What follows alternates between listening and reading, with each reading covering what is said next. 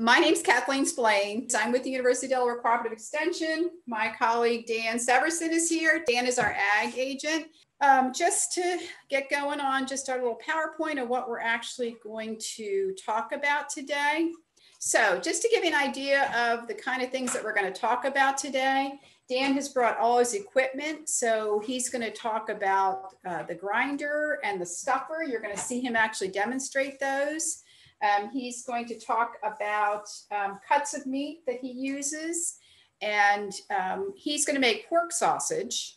Um, you can use turkey as well. Yep. We'll talk about that a little bit um, because that seems to be very popular. One of the things I shared with Dan, Dan is definitely a pork sausage kind of guy, and I'm a turkey sausage person. But I was telling him these uh, patties you see here in this picture um, you know, if I buy them in the grocery store, a package of eight of those patties is about $5. So by making the turkey sausage or the pork sausage at home, you could save a lot of money on, on these products. But he's going to talk about the steps to grinding it. He's going to talk about the seasoning. We're going to show the seasoning mix that he uses. And you all received a recipe for a make your own seasoning that came from Dan um, a recipe that um, he's used before. Um, in, today's presentation, we're going to use some seasoning that is commercially produced. So they've got different options for that. And then um, he's going to actually show you how to stuff the casing and talk all about casing. And then um, just before we even start, so that we can finish with the PowerPoint and then go to the visual of actually presenting the program, um, we're going to talk a little bit about food safety and how important that is with anything you do in your own home as far as keeping your food safe for yourself and your family. Um, this uh, visual, Dan, do you want to talk about that or you want to talk about that? Well, we'll talk about when we get the cuts of meat. Okay. Uh, so, but pay attention to the, the butt, the top part of the shoulder, the Boston butt. Um, but just some food safety tips right off the bat. Um, we have four different concepts that we really concentrate when it concentrate on when it comes to food safety. Um, clean, separate, uh, cook, and chill. And as far as cleaning, you know, of course, you want to start with a clean surface, clean tabletop, clean cutting boards, clean knives. You know, I think if nothing else in the last year, we've all really gotten good at washing our hands. So I probably don't even need to say that, but hand washing is really important before you start as well. And then separating. In this picture, you can see we have some raw sausage and in the background, there's some onions and tomatoes. And we wanna make sure we keep those separate so that we're not cross-contaminating uh, with raw meat and ready to eat foods. So really important concept as you're working through your kitchen. And then cooking, making sure you cook your products to the right temperature. If it's a pork sausage, you want to use a meat thermometer and make sure it's 160 degrees Fahrenheit when it's finished. It's a turkey sausage, you want to cook that to 165 degrees. And then as soon as you're done with your uh, uh, sausage, making sure that you chill it promptly. You know, don't, maybe you have uh, on a Saturday morning, people get up at different times to eat breakfast. Really good idea to refrigerate that product after it's cooked um, and not leave it out at room temperature for too long. So just basic ideas there when it comes to food safety, just little reminders.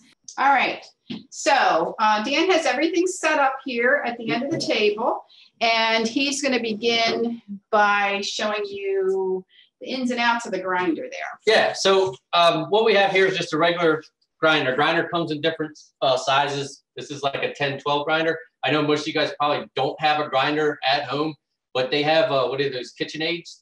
And they have uh, little apps that you can add to it so you can do a grind and the stuff on your KitchenAid. Also a food processor also works good. Um, if you get into some other kind of sausages, some of them could just be rough cut sausages. But this is just a grinder. I'm just going to show you how to go ahead and put it together. You know, it's it's not too difficult, but like I said, some of you guys probably don't have one, so don't fret. But you know, put in the corkscrew, right? Your blade or your knife, your blades go in, then your plate, this is kind of a fine plate, like a 3 16th, but you can get different size plates depending on what texture or size chunks of meat you want in there, right? And then I got my spacer, and then we're just gonna put this on, and we're gonna grind up some meat. Have you had this grinder a long time? Where did you get it? What was so, your, how did you? So, uh, yes, I've had this grinder a long time. Um, actually bought it at an auction, Oh, a farmer's auction. okay. So we went to a couple farmers auctions, bought some stuff, went to a couple uh, Amish butcher shop sales and bought some equipment as well. So yeah, you can find these everywhere, auctions, farm auctions, but now everybody's getting into, you know, buy local, eat local, know your farmer, uh, eat off the land. So you could go to like Cabela's or Bass Pro Shops or any kind of store and you can find this kind of equipment. So it's kind of it's kind of like canning, but it's with sausage. So what we're going to do is um, I'm going to show you the cut of meat we use for pork. So on your your handout, we're going to use the top shoulder. It's called the Boston butt because you go to the store and you're going to get a pork shoulder. You can get the butt or the picnic. Make sure you get the butt because the butt has the right meat to fat ratio that you're looking for and less bone than the picnic. Um, don't go to the store and say, you know, you get a ham because you think the ham's the butt because that's the butt part of the pig. You want the Boston butt, B-U-T-T. So we're just going to go ahead and cut that up. I got one here. Um, you can go to your local store or your local farmer.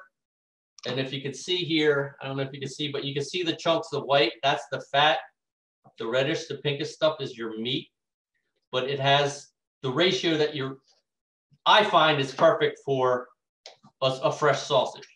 Um, if you're doing deer and stuff, um, I would take and cut this up and, and grind this and add, uh, just say like, if you're going to do six or seven pounds of deer, add three or four pounds of pork to it. So like a 60 30 or 60 40, 70 30 kind of thing. So you just cut it. All you got to do is cut up your cubes small enough to fit down the neck of your grinder.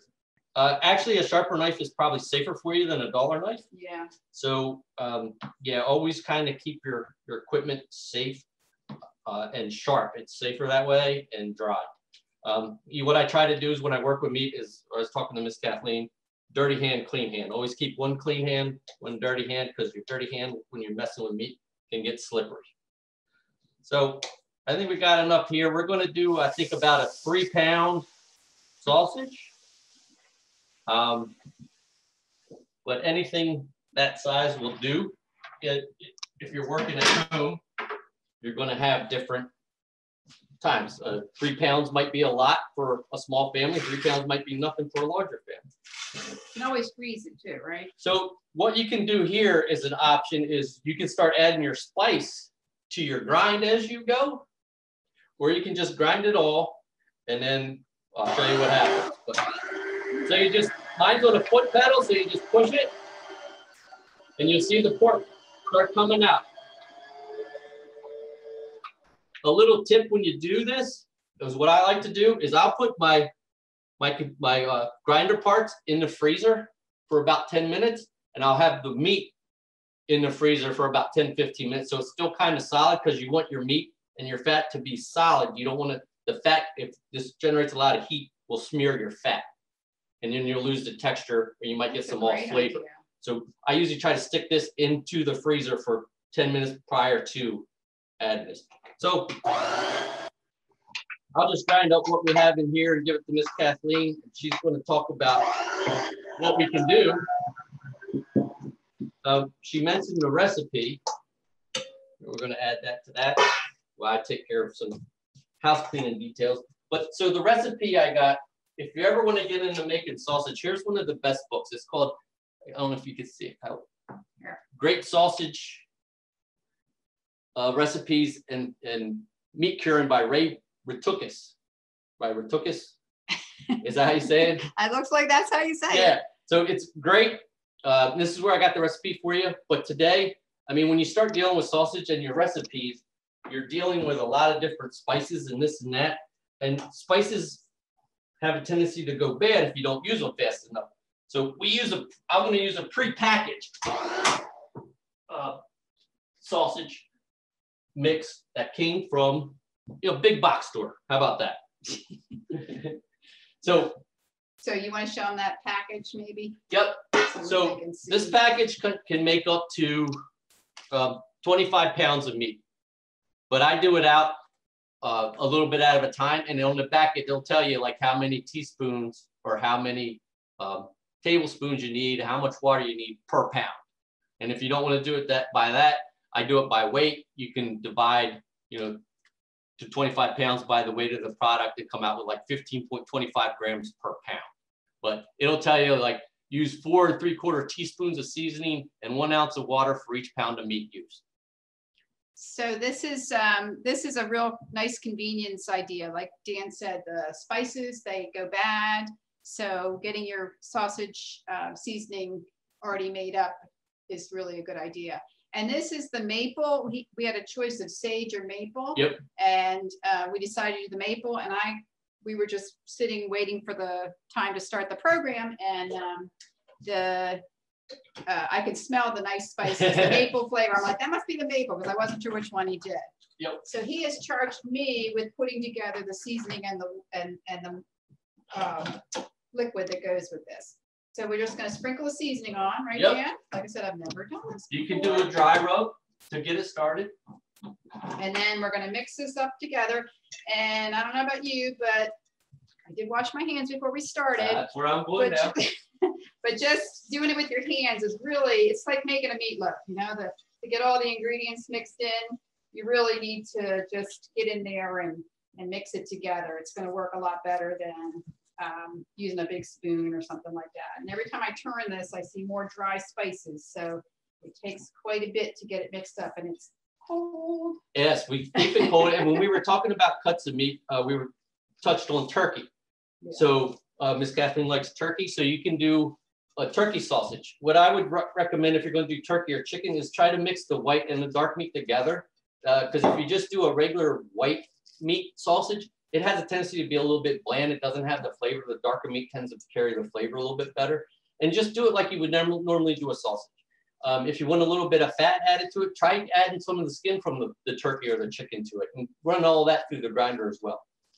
So it is a, a good process, but um, What do you think? Think that's mixed enough? The So, spices? the spices are good. So now what we want to do is as a little bit of binder, we're going to add some water to it.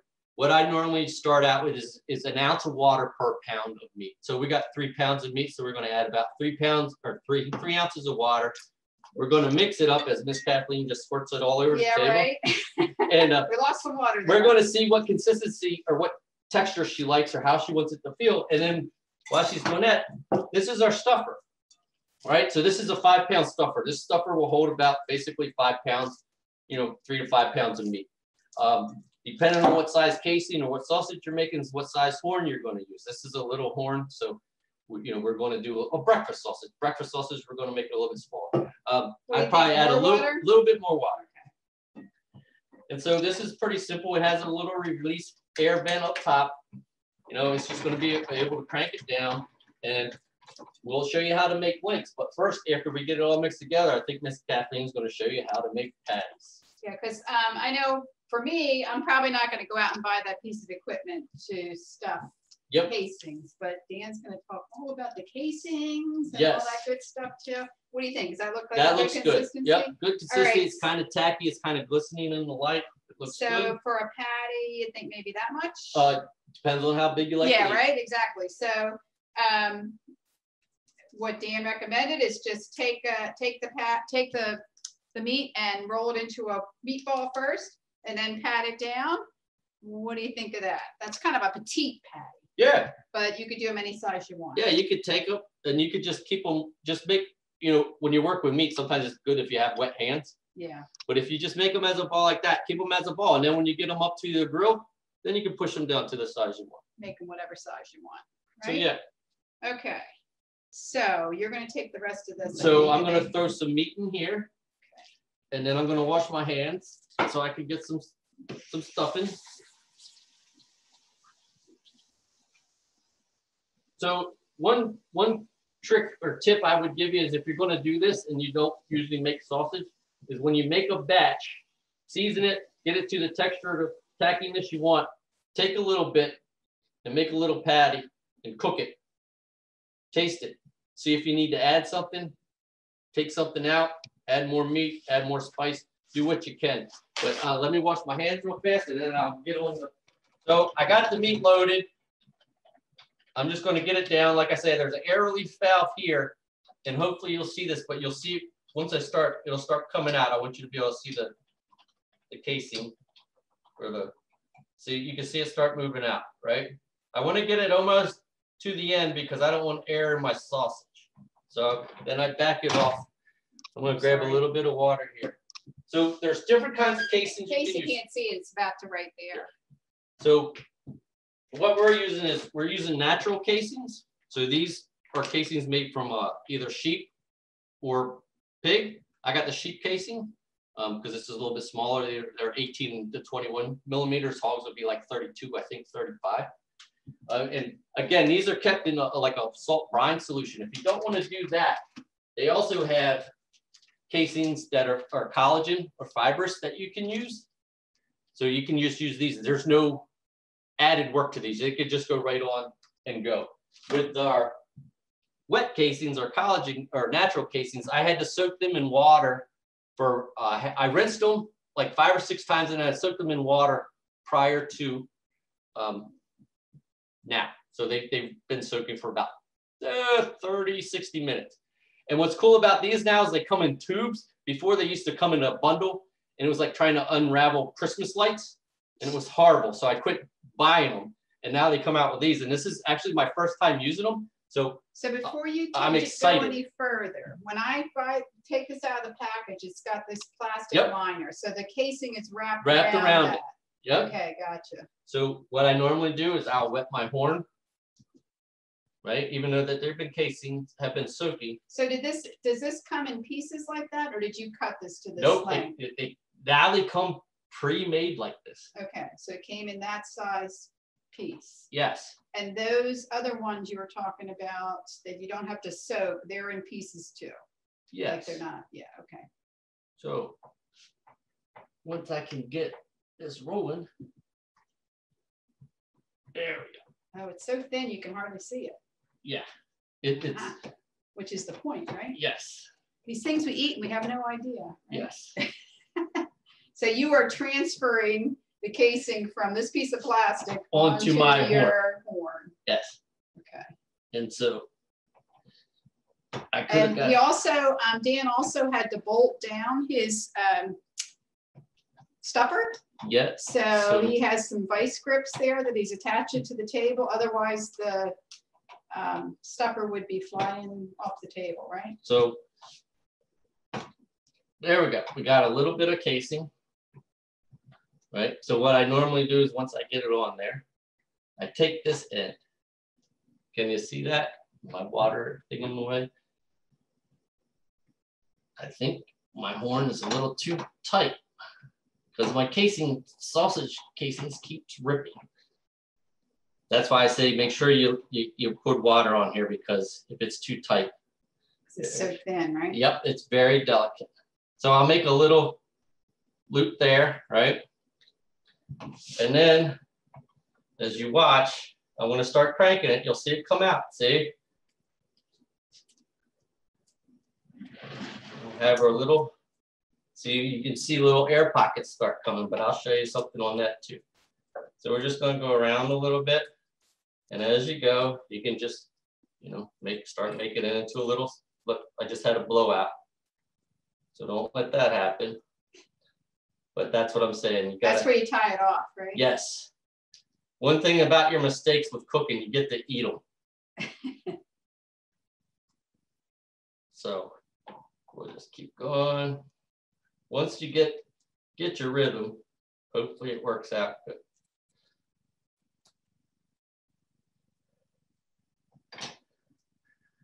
See? So like that, I got a little hole there. So if you're delicate enough, nope, it's gonna blow on you. Forget it. So we had some blowouts, but we got our sausage. So here's our lid. Oh, if you don't back off, it'll keep coming up. So here's our, we're gonna do sausage, right? How big is the breakfast sausage? Depends on how long you want. So your first one, be very careful. You, you spin it. Kind of blew up, but you spin it that way. And then your second one, you want to spin it the opposite direction. So make a, take your fingers and make a little hole. And then you want to spin this one the opposite direction. Right? So then you have your two little sausage link. And again, this guy, he already blew up on us. So we're going to turn him into a little third one. So we, we have a couple little sausages here. We can go ahead and take this guy. We're gonna spin him this way, right? And then down here, we're gonna spin him the opposite way. And when we're done, if you look, we have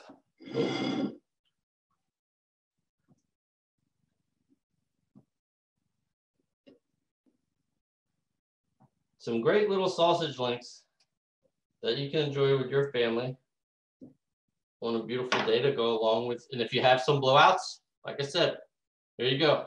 Patties, right? Yep, make your little meatballs, put it down there. You go Even to the with grill. the, even with the casing mixed in, that's fine, right? Yeah, it's Yeah. edible casing. You don't have to worry about the casings. They're Yeah. edible and all that. Yep. Even with the fiber or these casings, uh, these are you can eat those as well. I usually don't. I usually peel them off, but you can eat them as well. Yeah. So, um, And if you have a lot of air pockets in your sausage, if you're going to cook, sometimes I got a little sausage three prong thing. I go ahead and get all the little air pockets out, so everything like the air pocket doesn't burst. Or, but yep. you can use a knife too if you, You don't have can, that yeah, tool, if you right? don't have that, you can just take the back of your knife. Again, this is where it's nice to have a little sharp knife and you can just go down. yeah, Yep. they look good. So, um, we talked about turkey sausage. You did Mhm. the exact same thing, and um, so you know, really, I would think making your own turkey sausage would be much more economical than buying the boxed turkey sausage. It Just seems like the turkey is so much more expensive than the pork. Yes, so the boss, the butt portion is usually a little bit more expensive than the picnic portion of the shoulder because you're getting less bone with the, with the Boston, the butt.